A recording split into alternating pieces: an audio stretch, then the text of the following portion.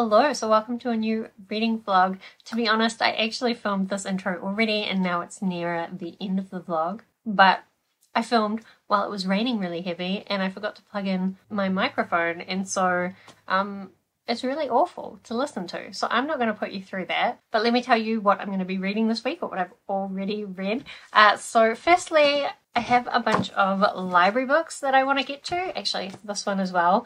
Uh, these are all due back next week. It's actually this week because it's already Monday, but uh, they're due back soon, and I've been returning a lot of my library books late lately, and I feel really bad, especially for the ones that are newer releases, because I know there's other people waiting for them. So even though there's not fines anymore, I still want to get through them. So these are the ones I've got. Uh, firstly, I've got One Girl in All the World. This is the second book in like a Buffy the Vampire Slayer story. So this follows Frankie, who is a new Slayer. Uh, she's also Willow's daughter and a witch. And in the first book, like all the Slayers went missing for some reason. It's not really clear what happened to them, and she's very unprepared to become a Slayer. And in the second one, we're still kind of tracking down what's happening with those Slayers, as well as I'm trying to think what did I know about this going into it? Pretty much nothing. So let's just go with that's the introduction.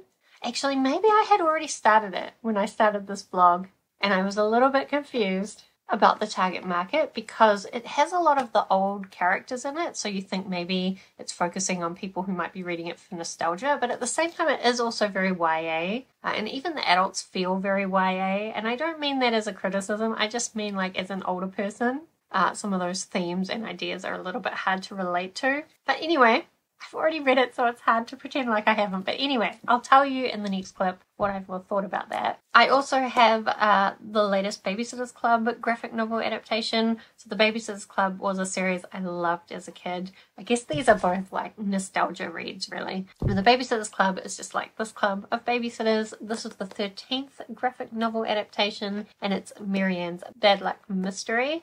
Um, this is actually the 17th book of the original series, but they haven't been doing like a one to one mapping. I'm not really sure what the logic is around it, but I've really been enjoying these series. They're just really nostalgic for me. And then lastly, I have this one, Swordbearer, which is actually the eighth book in the Tiger and Del series, which is a series like, I think it started maybe even in the 90s. You know, I have the I have these bind ups of the original series. Let's see, when was it originally published? 1989. Oh my goodness, this series started so long ago. And then this is the eighth book. I didn't even know we were expecting an eighth book. Uh, but in this one, they're kind of quite young. Del comes down from the snowy north to ask Tiger to help her find her missing brother. And then through the series, they have all sorts of uh, adventures. They're both uh, sword dancers, so basically just sword fighters. Also, Tiger is quite uh, a bit like a manly man, and Del kind of has to wrangle him to be less of a dick. Um, and in this, like, he's still a very manly man, but now they're both kind of 40 ish, and they've got a kid that they're looking after, and they've been trying to set up the sword dancing school. But of course, there's always problems. And really, that's all I knew going into this is that there was going to be problems. And also, I was expecting to enjoy the fact that they're older characters, so maybe slightly more relatable than either of these two for me. As well, I do have a couple of audiobooks that are both uh, series, which I will be completing because they're both duologies or so far they're duologies. So firstly, I've got A Sleight of Shadows by Kat Howard, which is the sequel to An Unkindness of Magicians. Uh, in the first book, we had this tournament between the different magical houses, and several people involved in that tournament were trying to change the way that the power structures within this magical unseen world worked. Uh, so both the way that magical power worked as well as political power. And in the second book, it's really focusing on I'm trying to remember what I said in the next clip anyway, it's mostly focusing on like how do you maintain those power changes? Like it's not necessarily as easy as you might think. And as well, I have the audiobook for Assassin of Reality, which is the sequel to Vita Nostra. Vita Nostra I reread recently and I absolutely loved it. It's such a strange story about this woman who, on a holiday with her mother, runs into this man who starts asking her to do really strange tasks. And through doing these tasks, she ends up getting admitted into this Institute of Special Technologies, and at the school they ask them to do very strange things. And if they're not doing well, then there are negative consequences for their loved ones. And in Vita Nostra, things got like so strange, all this metamorphosis stuff, and like just amazing concepts. So I was really excited to be getting to that one. And so that's lots, lots of books that I'm excited to be getting to. And hopefully then I'll be caught up on a bunch more series and a bunch of library book reading. And I think that's it for the intro. So I'll see you again near the end of the video.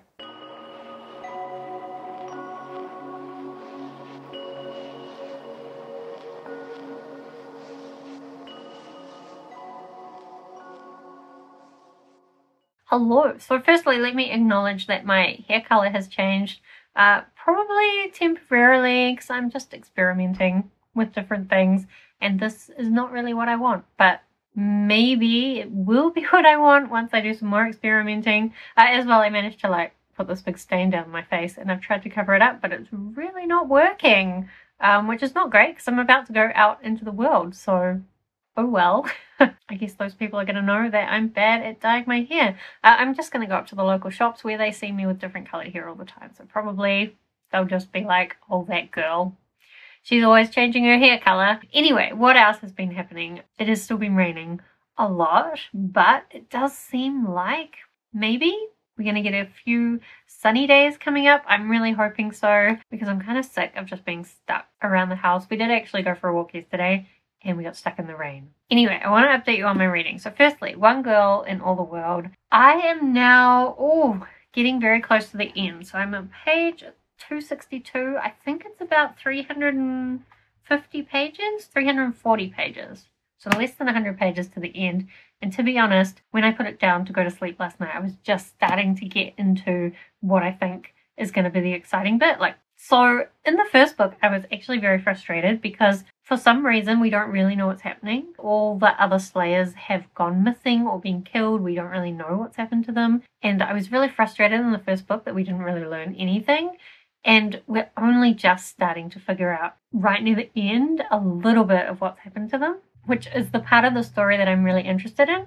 Uh, the rest of it, has really been focused on a lot of the relationships. So I think these books would be really great for like younger readers or readers who are interested in like fun friendships with relationships of all sorts of different sexualities. It's really, you know, there's a lot of talk about the different relationships, which just for me is not an interesting focus. Or at least I don't mind stories that include that as long as it's incorporated into the bigger fantasy plot or if there's some complexity to it, which for me there isn't really in this. As well, like I'm just really frustrated with all the adults basically acting like teens and their relationships being like teen relationships. But I think if you see the target market for this book as younger readers, then that does make sense. And I can still see you wouldn't really pick this up without having watched Buffy first.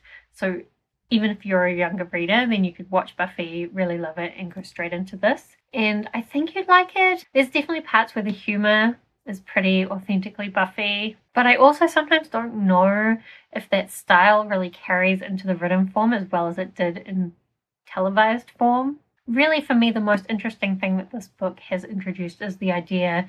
Uh, so, at the end of the bigger Buffy TV show, uh, Buffy makes it so that all potential slayers will automatically become slayers. And it's meant to be like a really empowering thing but in this book, we're kind of talking about how some of those slayers feel like they're now being forced into being slayers. And like, what if they just want to live normal lives? They don't want to be going out and being forced to save people and to sacrifice themselves for others, uh, which I think is a really interesting idea. And I would have loved it to be explored more in this, but so far, not so much. So I guess we'll see what happens in this last little bit.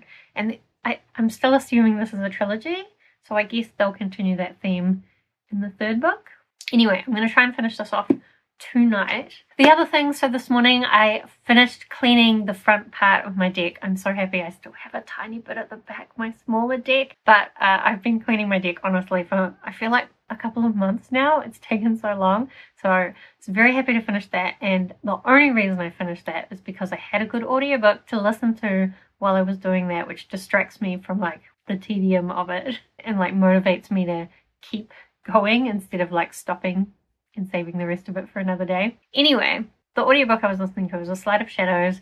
I'm really enjoying it. I did look at some reviews and I saw that overall the ratings for this book aren't as good as the original book. And I feel like that's maybe that some people feel like this book is lacking in the excitement that you got from the first book with the murder mystery and the magical tournament. Whereas in this one, I feel like the stakes are a lot less clear, even though they, they are still high stakes.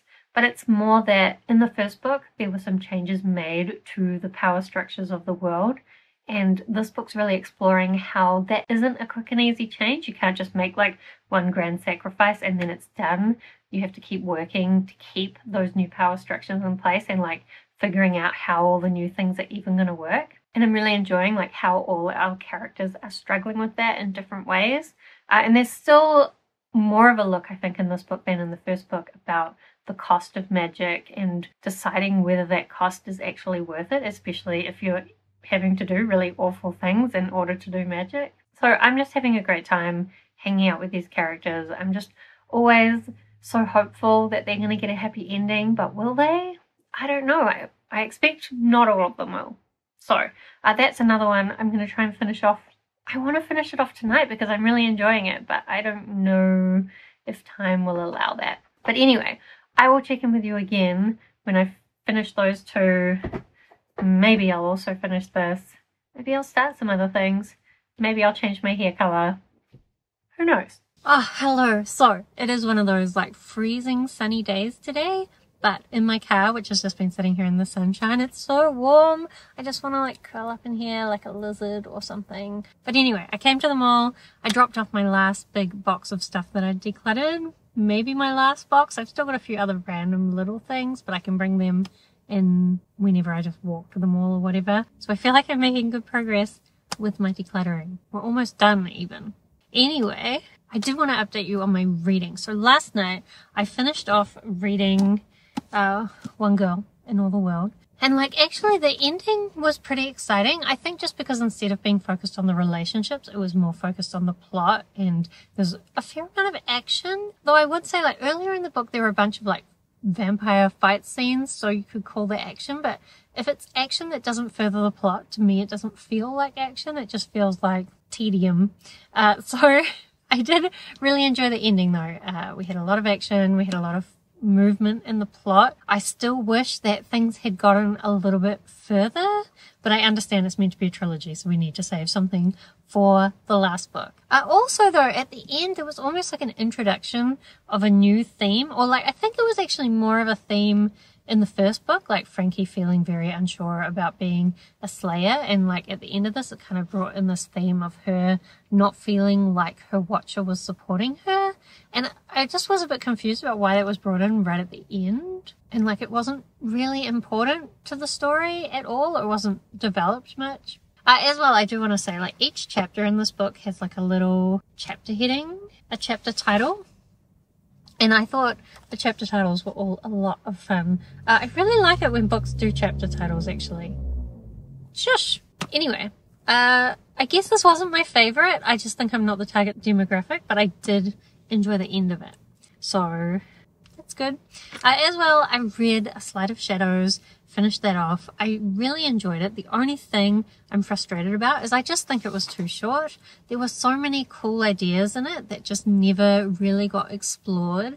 Uh, like these bone trees and like what really happens with a magician once they've died. I feel like so much more could have been done with that than what it was. As well, uh, we have these new students who've been brought into magic and one of them especially has been taken advantage of and misled and put in a really horrible situation. And we barely got any of what that experience was like for her. And just like overall, like I like the characters, I like the world, but I, I just wanted more. So like it was great. I really loved it. But also like I wanted more. I don't know how else I can say that. And I don't even know whether there is a plan to write a third book in that series or not, or whether that's it. Who knows? I would really like to get some more. So fingers crossed. But also, like, at the end of the first book, I felt like, I don't know what more story there could be. And I kind of still feel like that. But also, like, I'm sure there is more. So give it to me. Also, this morning I did go for a run and I started listening to Assassin of Reality. I think I'm about a third of the way in and I am really liking it. There have been some lines where I've been really mad that I'm listening to the audiobook. I really need physical copies of these books because there's just some lines that I think are so beautiful or like so interesting and just some concepts that I really like to sit and reflect on. I don't think audiobooks are really the best way to consume books like that, even though I don't mind these audiobooks, but I just think there are some lines that I could enjoy more physically. So one day, one day. Uh, but for now, I'm enjoying the audiobook. So basically, at the end of the first book, our main character had like her final exam, uh, or like her exam for her third year, I think, but there's still a fourth year to go. So something went wrong in that exam, but she doesn't entirely remember it. So basically now she is uh, doing these error correction classes where she has to try and figure out what she did wrong in the exam. Uh, there's also been some really cool manipulations of time, which I still don't feel like I fully understand, which is again why I wish I had the physical book so I could like check what, what did it really say? Does it really make sense? I, I don't know, but I'm enjoying it regardless. Uh, and I haven't picked up any of my other physical books yet, but I will when I go home. Honestly, I still just want to sit here in the sun, but I guess I'll go home. I guess. Hello, so quick reading update since I'm about to film anyway. Uh, yesterday I did read Mary-Anne's Bad Luck Mystery and I enjoyed it. I do have a few things though. Like, as always, I just feel very nostalgic about this book series because the original Babysitters Club books were like my favorite as a kid and just like seeing the graphic novel adaptations is a fun time. But I will say like reading this as an adult, I don't know if I went back and read the original, whether I'd feel the same. But instead of feeling like, wow, these girls are really mean and why are they talking about the babysitters behind their back and like doing tricks on them, instead of feeling like that, like I was like, wow, the Babysitters Club are kind of like one of those cliquey, cool girl groups that aren't very nice to other people. And so instead of feeling like the other girls were the bad girls, which I'm pretty sure is how I felt when I was a kid, instead of feeling like that, I'm like, wow, teenage girls, huh? So much drama. I remember all the drama from when I was a younger teenage girl, to be honest. Anyway, as well, so right at the beginning, Mary-Anne gets this chain letter in the mail, which is like if you don't forward this letter to like 20 people, then you'll get bad luck for all your friends and your loved ones. And it's a little bit weird because some of these books have had things kind of adapted to a more modern age. Whereas I don't feel like, does anyone do physical chain letters anymore. I don't even think I've ever really heard about them. I remember when email was new, you would get those chain emails all the time. But uh, is that even a thing anymore? I don't think so. I think it's more you get those stupid social media posts that like my mum and my aunties are always posting, which is like, you need to share this post or otherwise your Facebook account will be shut down. But like actual chain letters, I don't think that's a thing anymore. So I was kind of surprised that that wasn't modernized in some way, although I do admit it would be hard to fit social media into these books because, like, then so much would change. And as well, like, these young kids should be having parental supervision on social media at the age that they are, especially because they're very responsible young girls. Uh, another thing that I found strange, and I always found this strange about the original Babysitters Club books as well, is the timing of things. So they decide they're going to have this sleepover, even though they're really doing something else naughty. But They decide they're going to have the sleepover, and they tell their parents, "Charlie's going to pick us up at ten thirty to go to the sleepover." Is that a sensible thing, like being picked up at ten thirty at night to go to a sleepover? Like when I was twelve or thirteen, I would have been asleep already. I just I found that very strange that the parents would be like, "Yeah, sure, I have them pick you up at ten thirty at night." What? Anyway, it was a fun story and I enjoyed the nostalgia. Uh, then, just before bed last night, I did start Swordbearer, but to be honest, I only got about 30 pages in before I fell asleep because I was way too tired, uh, but I was really enjoying it. Uh, basically, we've gotten Tiger and Del and they're looking after a two-year-old and they've kind of got this little community around them uh, in the desert. So in this world, there's the north where it's all snowy, and the south it's all desert-like. I know that that makes a lot of sense for you northern hemisphere people. For southern hemisphere people, like it always feels backwards to me. But anyway, uh, even though they're in the south, they wake up and suddenly it's snowing, which doesn't make any sense because it doesn't snow in the desert it's never snowed there as long as they can remember, and they're suspicious that it's magic. Then, really, they're just struggling with all the snow and also looking after a two year old while they deal with all the snow. So I really like the way that, like, looking after the two year old was incorporated into, like, oh, not only is this difficult, but it's even more difficult because we're trying to keep this two-year-old happy. Uh, also, I just really like, like it's written in first person from Tiger's point of view, and he's like this, at this point, he's kind of an old crotchety man, but really focused on just wanting to do his sword dancing and have a good life, and always kind of grumpy about magic, and it's funny that even after so many books, he's still so skeptical about magic, even though he's seen so much of it and even done so much of it himself. But I'm just enjoying being back in his head, which always, it's strange to me because in a lot of ways he's like a typical manly man. But I like how Del keeps him in line and just like how he's always trying to do better. Anyway, I will be continuing this later, I guess. I haven't read much more of Vita Nostra, a tiny bit. I am still really enjoying it. There's just some lines that I've really loved. I, I think the overall plot is a bit, uh, maybe not as good. Although in the first book, like I never had any idea what was going on. I think the thing is in the second book, I have a much clearer idea of going on, even though none of it really makes sense, but it does given the context that you have. It's a strange book, but I'm loving it. So hopefully I'll get some more time to listen to that today as well.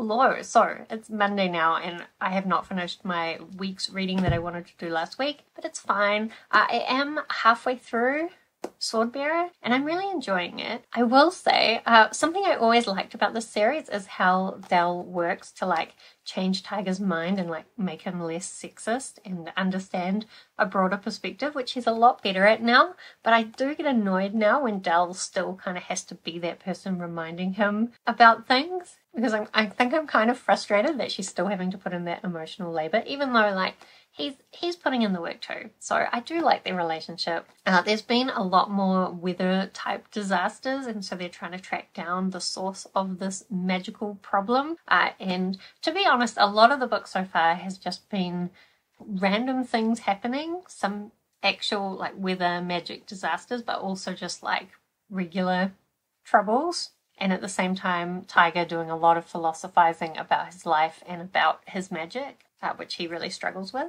So like the the actual story is quite slow and since I'm halfway through and not much has happened yet in terms of story, I feel like maybe there's not going to be much story in this. So like I'm having a good time with this, but I, I actually don't know if in the end I'm going to feel like we needed another book in this series or not.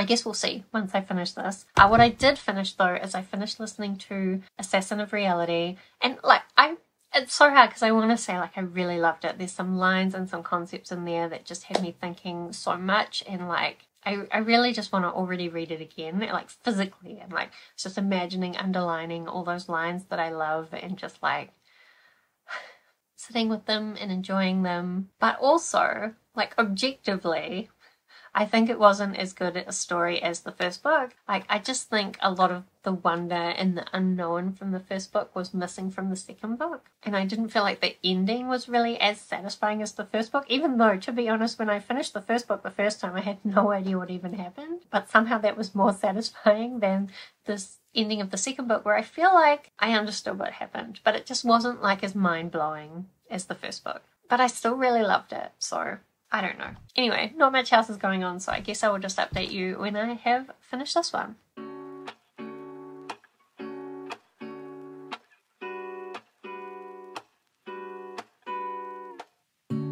Lazy Sunday mornings, hiding under covers. I don't mind staying in with you.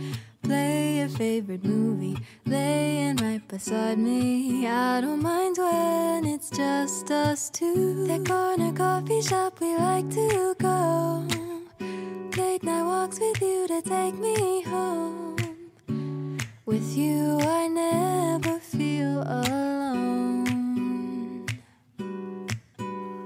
These little songs make me glad to call you mine.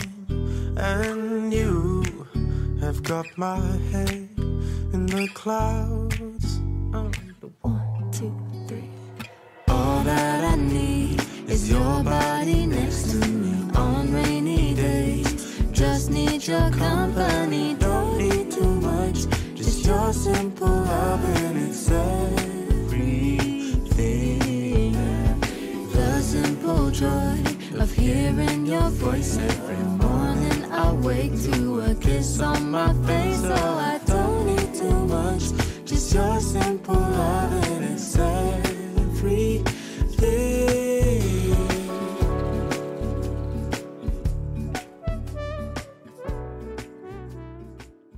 Hello. So today we went to the beach, and honestly, I feel like we haven't been to the beach in so long because we've been just so busy doing house stuff. It was really nice, even though it did rain on us. Uh, but anyway, I have just finished Swordbearer, so I wanted to update you.